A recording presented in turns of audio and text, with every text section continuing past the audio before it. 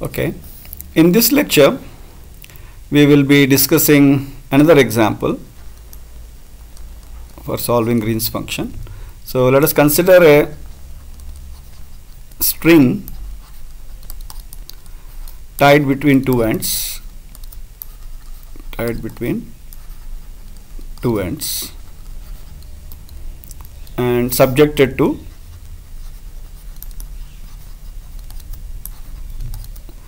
an external force say f of x.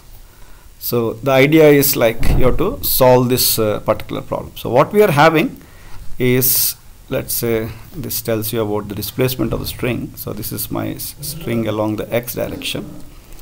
And let me say my string is tied at point x equal to 0 and some point x equal to L right? And if I were to give a function f of x then how does the equation look like? The equation of the steady state for the string will be d squared u by dx squared where u is the displacement of the string equal to f of x. With the boundary conditions u at x equal to 0 should remain 0 and u at x equal to L should also remain 0. So this is what we want to solve and so we want to use the Green's function approach. So the Green's function approach tells us that uh, we have to solve for d squared g. So what we do is basically we try to apply a pointed force okay at this uh, particular point let's say x equal to xi let me say this point is x equal to xi so what happens to the string is it uh, sort of takes a shape like that because of this force. So basically it is like a cloth line on which you are uh, placing a small cloth here okay of infinitesimally small length or width you can say which is playing on this. So that's because of that this is this is an exaggerated version of this. So you have basically something like this. So if I were to make this a unit impulse if this were to become a unit impulse at x equal to xi then the solution of the equation that we are looking for is d squared of g at xi that is the impulse applied at xi should be equal to basically I can write this equation as d squared u by dx squared equal to f of x by t right? So but then that f of x by t see this can be written like this dx squared equal to f of x by capital T. So we can call this as capital F of x. So basically we are having a unit impulse. That means we are applying a delta function at xi. So the solution of the equation for x minus xi for unit impulse. So we will straight away look for what the Green's function should be if I have a unit impulse at x equal to xi. So this is the equation that I need to solve. Let's call this equation 1. Now we can see that this entire problem can be divided into two regions. Region 1 where x is less than xi and region 2 where x is greater than xi so what should your Green's function do? The Green's function should satisfy at x equal to 0 the boundary condition u of x comma x equal to 0 equal to 0 will you know will convert it to this. And similarly we should have the Green's function at x equal to L to also satisfy the boundary condition. Let me not go there. Okay. So in region 1 region 1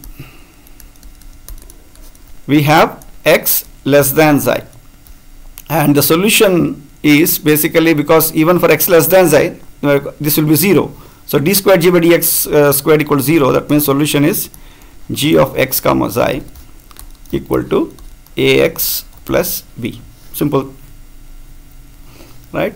So in this region 1 let me call the Green's function as g1 so this should satisfy this first condition. So that means at x equal to 0 you should you will have a into 0 plus b equal to 0 so b equal to 0 so basically g1 of x comma xi this is how it is written. X with the unit impulse acting at xi is equal to a times x.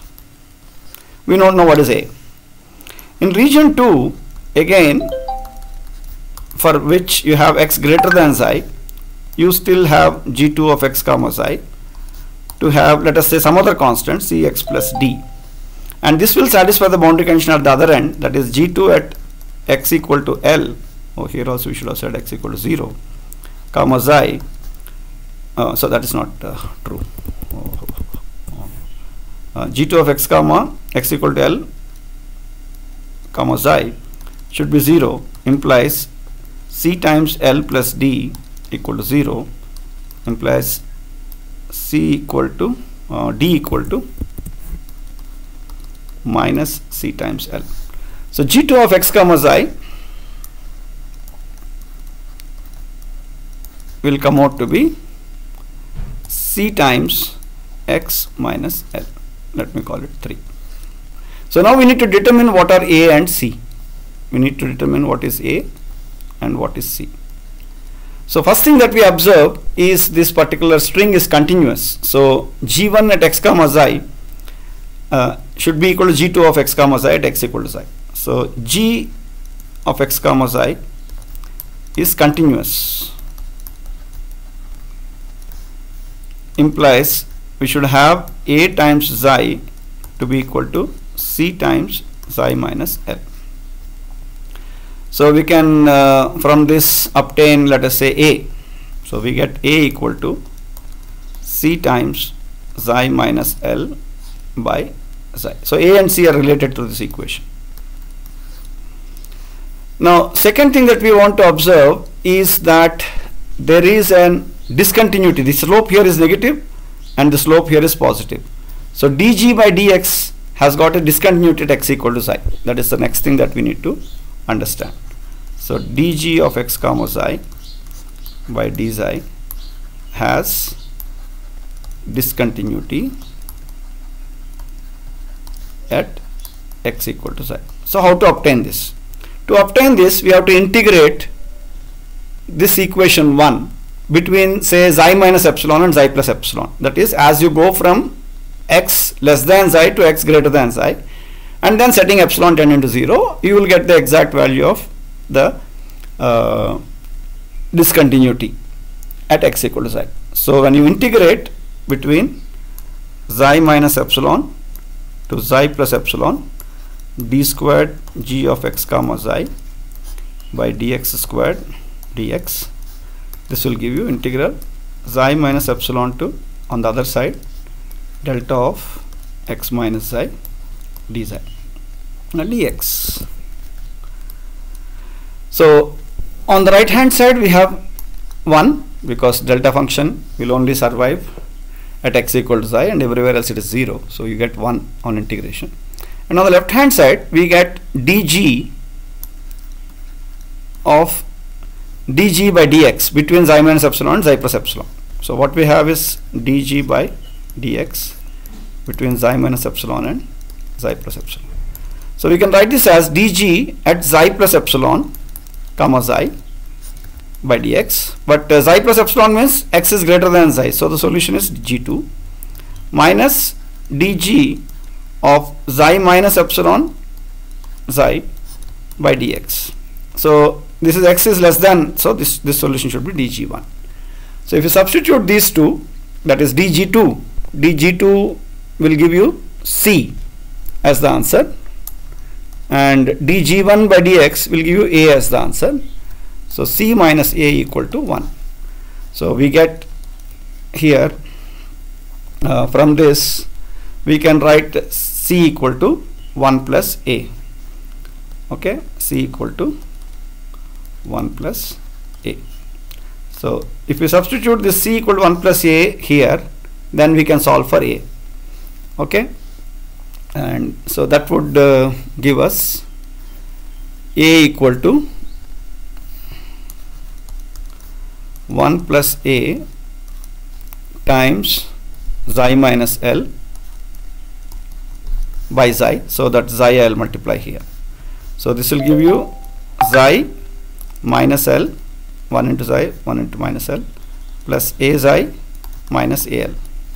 So basically you have an A xi on the left hand side and you have an A xi on the right hand side. So you can take the AL that side. So you get A times L equal to xi minus L or A equal to xi minus L by L.